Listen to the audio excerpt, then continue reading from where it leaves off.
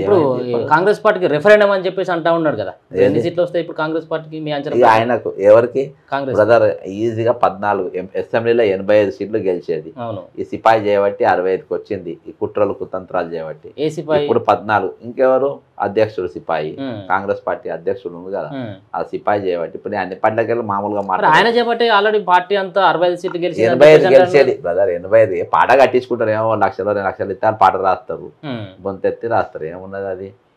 పాట వాడిని పాట వేసుకున్నంత మాత్రాన అది సత్యం కాదు కదా. నేను ఇంద్రుడు చంద్రుడు కూడా చెప్పొచ్చు పాటల. అర్థమైందా? అది అంత ఫేక్.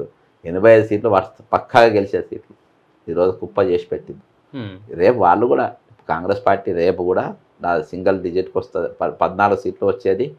పద్నాలుగుకి వెళ్ళి పన్నెండుకి వెళ్ళి పద్నాలుగు వచ్చేది. ఇవాళ సింగిల్ డిజిట్కి గుంజుకొచ్చింది మెదక్ హండ్రెడ్ పర్సెంట్ బీజేపీ గెలవాలనే ఇచ్చిండ్రు.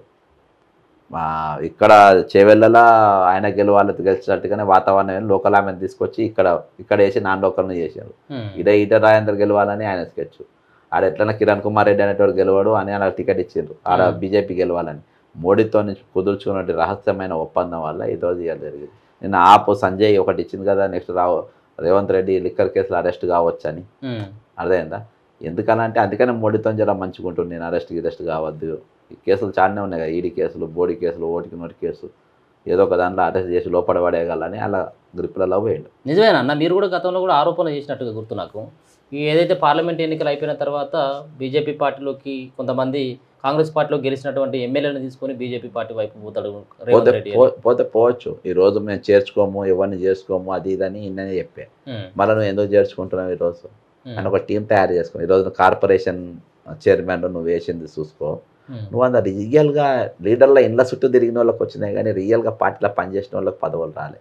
ఉమ్, రియల్గా రియల్గా కష్టపడ్డ వాళ్ళకి రాలే. నువ్వు భువనగిరిలో పోత్నాయక్ రావాలి ఏది ప్రమోద్కు ఫస్ట్. జయప్రకాష్ ఉన్నాడు కైలాష్ నేత ఉన్నాడు. అర్థమైందా? ఆడ Hmm. మాట్లాడు కష్టపడ్డ వాళ్ళు చాలామంది ఉన్నారు. అల్లం ప్రభాకర్ రెడ్డి ఉన్నాడు. వాళ్ళు ఎవ్వరికి రాలే. రియల్గా కష్టపడ్డ వాళ్ళు ఇండ్ల చుట్టూ తిరిగేటోళ్ళకి వచ్చినాయి. ఈరోజు వరంగల్ కూడా అదే పరిస్థితి. నిజంగా తిరిగిన వాళ్ళకు ఒక రాలే. బట్టి సీన్ అనస ఉన్నారు అక్కడ ఆయన. వాళ్ళకి రాలే. ఇంకా చాలామంది కష్టపడ్డారు. వాళ్ళకి రాలే. ఈరోజు మెదక్లో సుబ్రభాతరావుకు రావాలి. ఆయనకు రాలే. తర్వాత వచ్చిన వాళ్ళకి జాయిన్ అయినారు. ఈరోజు రాష్ట్రం మొత్తం రియల్గా చుట్టూ తిరిగేటోళ్ళు ఖమ్మం జిల్లా కూడా అంతే. లీడర్ల చుట్టూ తిరిగేటోళ్ళకి వచ్చినాయి. ముస్తాఫా అనేటువంటి తీసుకుపోయి జైల్లో పెట్టి కేసులు పెట్టారు. మిక్కిలినేని నరేంద్ర అనేటువంటి జైల్లో పెట్టి కేసులు పెట్టించారు. వాళ్ళ మీద రౌడీ షీట్లు తెరిచిండ్రు. అలా రౌడీ షీట్లు వాళ్ళకు చైర్మన్లు రావు.